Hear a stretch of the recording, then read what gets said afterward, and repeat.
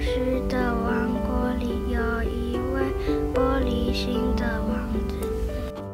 这个王国真的很大，一点颜色都没有。哇，好无聊啊！就是说嘛，那个王子也是冰冰冷冷的感觉。为什么我的人民都要这样对我？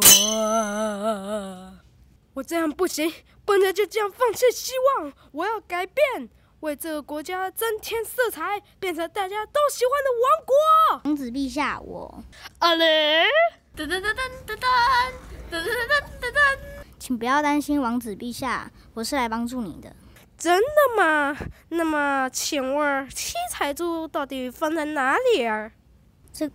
这个真是非常抱歉，鄙人也不清楚。但在往东一千公里的沙漠住着一个长老先生，他非常了解七彩出的事，他一定会帮助陛下您的。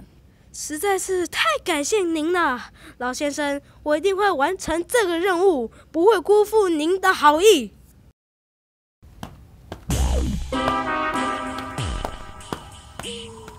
请问你是住在？这片沙漠的长老先生吗？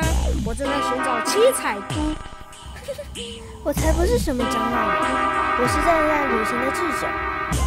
七彩珠，你是不可能拿到的。为什么？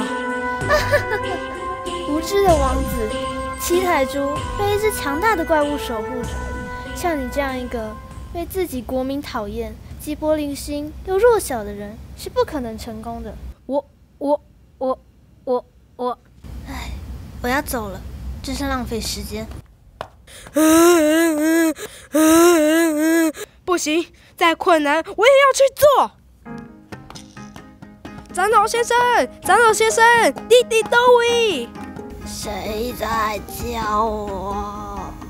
长老大人，请您告诉我七彩珠在哪里？咦，根本不可能去那里。我只要有勇气，还有坚定的心，一定可以做到。年轻人，这样很好，有这种魄力，一定可以取得七彩珠的。往这个方向走。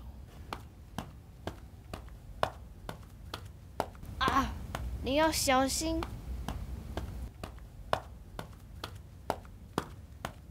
啊，好累哦。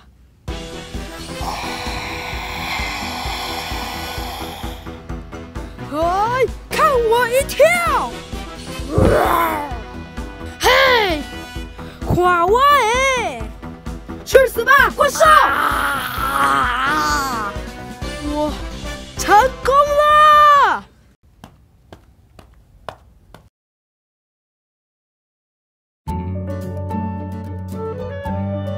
咦，我们玩个其他颜色嘞？他手上不是七彩珠吗？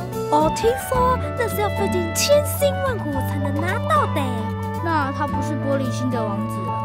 耶！